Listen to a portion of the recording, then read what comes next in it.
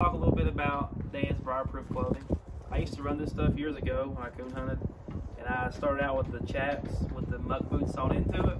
I used them for many years, had pretty good luck and success out of them, especially for the thick wooded areas like West Virginia, North Carolina, Virginia, places like that. Always used them in uh, the wintertime and a lot in the summertime, especially for snakes and things of that nature. You can buy the, the boots or the chaps with the snake proof.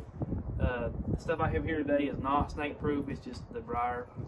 Uh, really don't want a whole lot of heavy stuff in the line of work we're doing now with uh, tracking and trailing dogs. So I bought the uh, pants for this session. Uh, the bottom is pretty thick. I think it's the 1000 and then the top is your normal 450 like on the jackets and the bibs and stuff like that. The zippers are super heavy duty, the YKK zippers. They're uh, very durable. I've wore these pants several times since I've had them already and haven't really had any issue with them. The only issue I have is says they're size 32 and they're a little bit tight.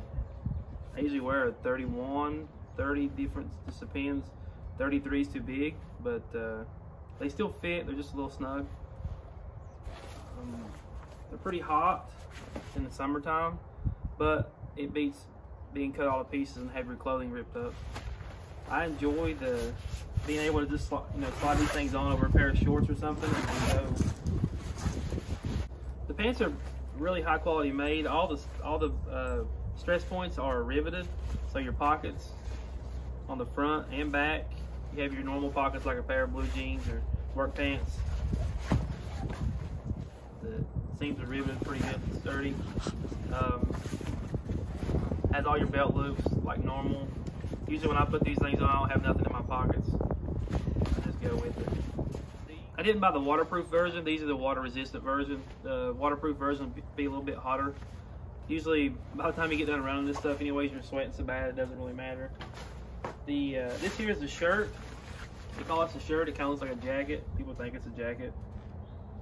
But the back of it has the air ports for breathing.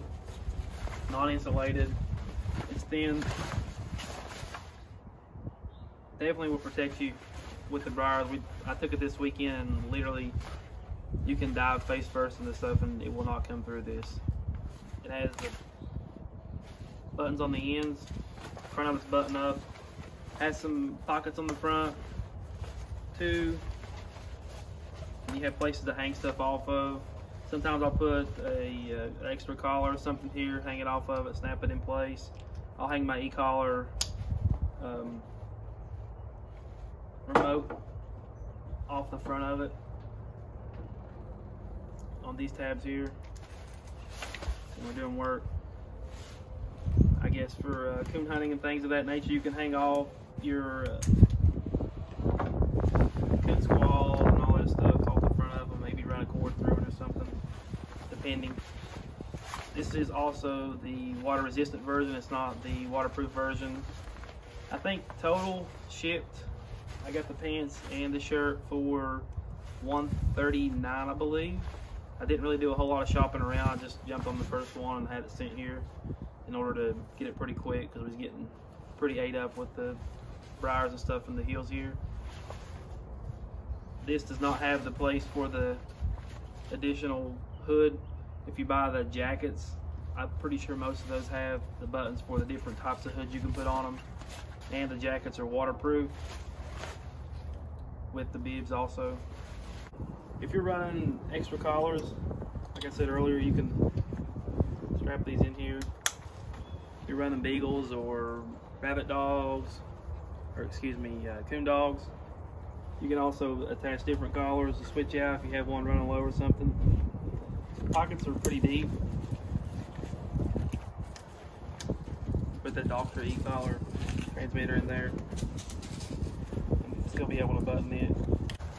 Here's sort of the comparison to the bottom part of these pants, the 1000. It's a lot thicker than just your normal 450, I believe what this is.